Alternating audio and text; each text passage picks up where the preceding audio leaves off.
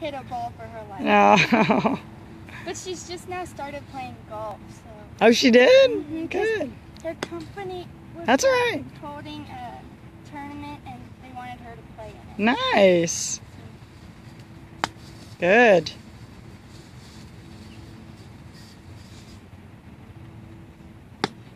That's right. Well, you got some